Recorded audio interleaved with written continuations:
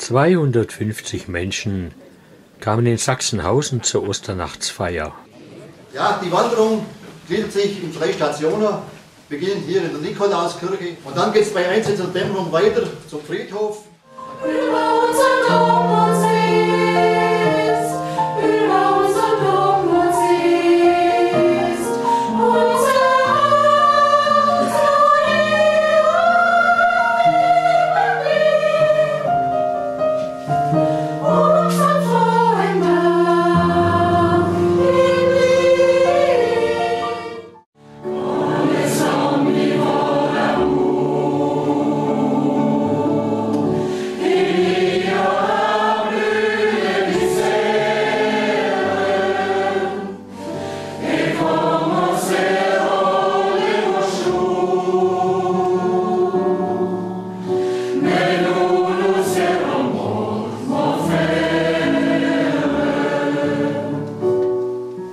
Gut wäre es, wenn auch die Sehnsucht nach Frieden in unseren Herzen weiterleben würde.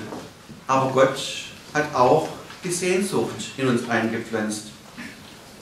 Die Sehnsucht danach, dass Menschen in Frieden und Liebe zueinander leben können. Nicht der Tod hat das letzte Wort. Gott hat das letzte Wort.